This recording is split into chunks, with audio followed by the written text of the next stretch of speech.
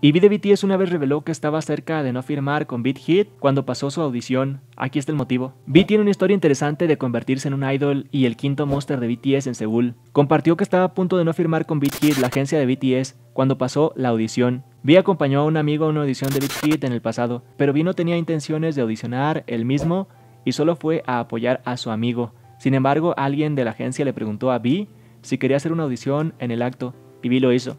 V le mostró a este miembro del personal todo lo que pudo. Después de la audición, el miembro del personal le dijo a V que no lo contactaría si pasaba. Pasaron algunas semanas y cuando V estaba en un café de juegos recibió una llamada y fue Beat Hit y le dijeron que pasó la audición. No solo V estaba impactado, sino que fue la única persona de Daegu, la ciudad natal de V, que lo logró. V luego fue a casa emocionado y le dijo a su abuela que pasó la audición la abuela de Vi, sin embargo, era un poco escéptica y pensó que Vi estaba siendo estafado. Las palabras de la abuela de Vi pusieron algo de duda en Vi y comenzó a pensar que lo estaban estafando.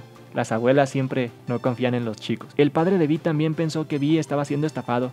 El padre de Vi le dijo de manera divertida a Vi que era escéptico ya que pensaba que 2AM debería haber estado en JYP Entertainment y no en Beat Hit. Hit tuvo que llamar al padre de Vi para hacer saber que era una empresa real. La familia de Vi prometió que se convenció de que Beat Hit era una empresa real.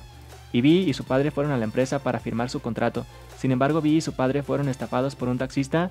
Si bien esto fue perturbador en el pasado, Vi y su padre ahora se ríen cuando miran hacia atrás y finalmente firmó el contrato y el resto es historia. Los padres nunca confían de sus hijos o desconfían de todas las empresas o todo a su alrededor. ¿Tú qué opinas sobre esto?